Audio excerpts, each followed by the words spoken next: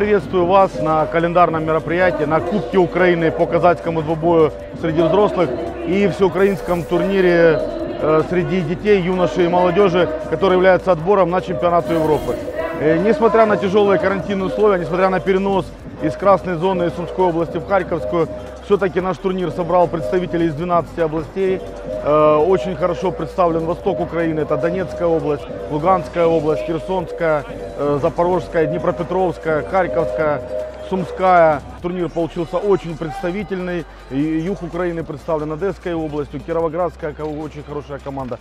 Поэтому я надеюсь, что действительно будет отобрана великолепная команда в сборной Украины, которая примет участие на чемпионате Европы, который планируется также провести в Харькове в этом прекрасном заведении во дворце спорта «Локомотив».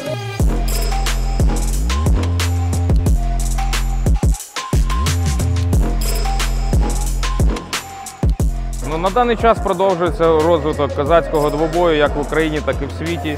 У нас на даний час зареєстровано е, міжнародні більш ніж в 20 країнах світу.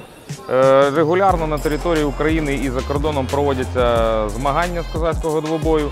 Е, З кожним роком е, кількість учасників постійно зростає, і ця тенденція зберігається і на зараз, незважаючи на певні ковідні обмеження і все таке інше. Далі планується проведення знову ж таки на території України в Одесі Кубку світу з козацького двобою. На даний час ці змагання представлені спортсменами з 12 регіонів України.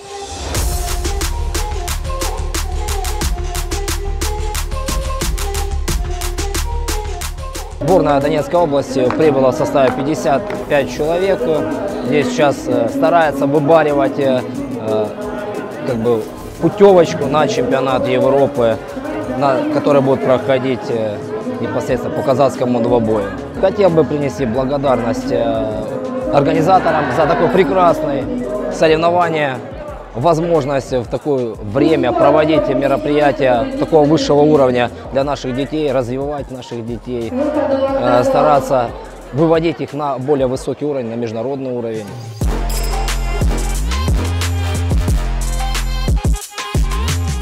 Спорта 2020 год был очень тяжелый для всех направлений. Вы знаете, э, календарь, много календарных мероприятий не было проведено. Но несмотря на это, мы входим в 2021 год. Федерация казахского двубоя продолжает развиваться.